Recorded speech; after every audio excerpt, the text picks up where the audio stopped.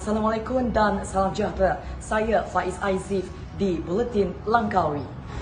Dewan Seberguna Kompleks Angkatan Pertahanan Awam Malaysia Langkawi dijadikan tempat pengumpulan barangan keperluan asas bagi individu yang terputus bekalan makanan.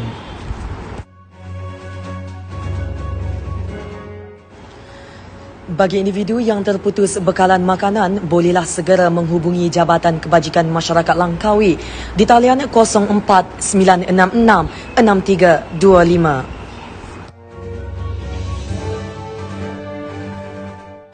Bantuan ini diberikan kepada penduduk Langkawi yang terkesan dengan perintah kawalan pergerakan. Sekian saja laporan saya. Assalamualaikum.